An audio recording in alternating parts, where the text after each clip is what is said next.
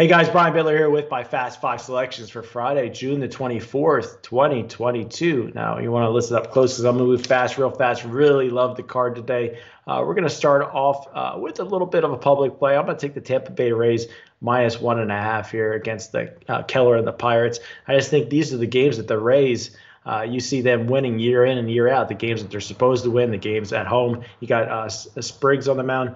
Uh, he's not going to go deep into the start, but that Tampa Bay has one of the better bullpens in the league. I like the Rays minus one and a half. Then play number two, I'm going to take the Cleveland Guardians on the money line yesterday. I believe I gave them out as a free pick, uh, and uh, they lost one to nothing.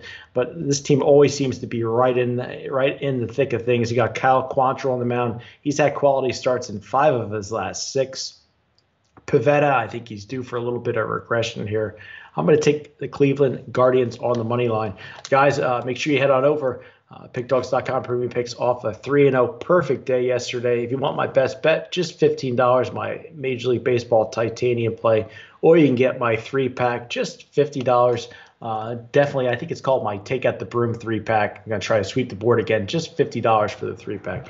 Uh, play number three, I'm going to take the St. Louis Cardinals on the money line. A little bit juicy here, but the Cardinals 10 and 4 last 14 versus the Cubbies. Uh, Cardinals have won eight of their last 10. Just like the Tampa Bay Rays, Cardinals uh, usually take care of business against the teams they're supposed to take care of business against.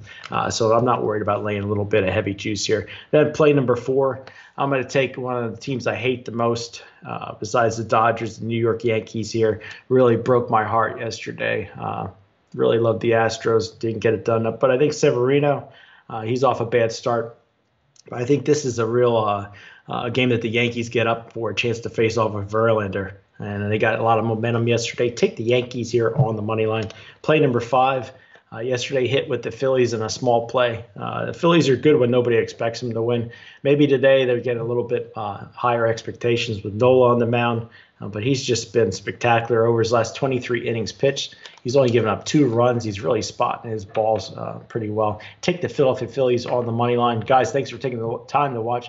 Make sure you hit the thumbs up and uh, check out the link in the video for my premium plays.